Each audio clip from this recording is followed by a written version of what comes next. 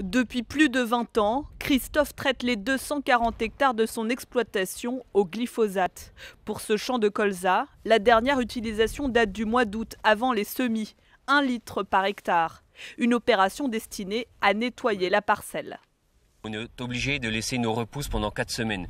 Donc, qui dit 4 semaines dit développement des, vivaces, des, mauvaises herbes. Donc, après, si on intervient au bout de 4 semaines mécaniquement et que derrière on n'a pas les conditions idéales, c'est-à-dire un sol séchant, on a recours à l'intervention chimique dans ces cas-là. En cas d'interdiction, une seule solution selon Christophe, se tourner vers d'autres produits phytosanitaires. Demain, si euh, on n'a plus de Roundup, on va être obligé de travailler avec d'autres matières actives euh, dont la dose sera plus élevée.